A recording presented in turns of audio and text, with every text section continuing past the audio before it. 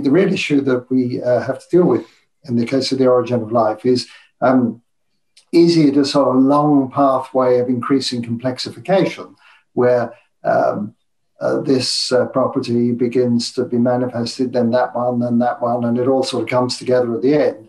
Or was it more uh, like a phase transition in physics where everything would spring into existence all in one go? And suddenly there it would be, like um, uh, gas bursting into flame. Uh, we don't even know whether it was a gradual pathway or an abrupt transition.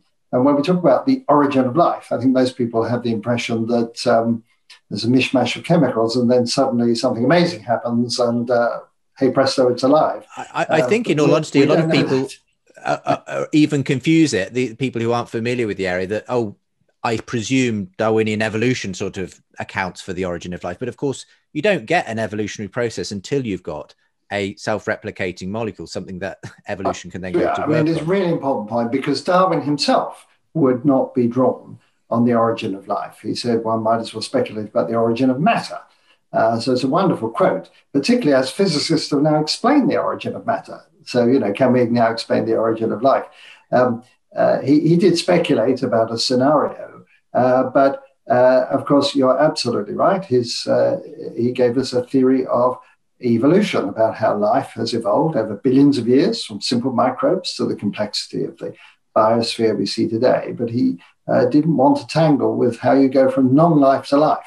And for me, that's a much bigger step. Uh, because mm. when people say, uh, well, you, uh, explain the today's biosphere, you know, it's amazing.